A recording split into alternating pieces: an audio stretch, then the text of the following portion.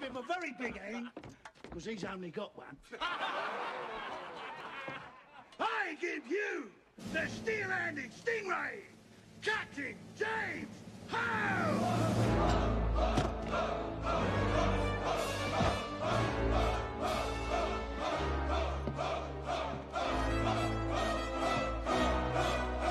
See how greatly the men favour you, sir? The puling spawn, how I despise them.